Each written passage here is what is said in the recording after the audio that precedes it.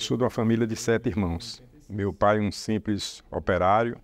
Quando eu era deputado, de vez em quando eu via, eu vinha no Senado Federal e pensava comigo mesmo: um dia eu vou sentar numa cadeira dessa, um dia eu vou ser senador. Tenho convicção plena de que é uma ação que cabe a nós, enquanto representantes do Estado de Sergipe, Comissão de Infraestrutura, Comissão de Assuntos Econômicos, a Comissão de Constituição e Justiça, essas comissões são as comissões basilares aqui. Eu sou um político desenvolvimentista. Eu olho para o desenvolvimento do meu país e faço disso o meu desafio todos os dias. O meu viés é muito voltado para essa pauta de desenvolvimento.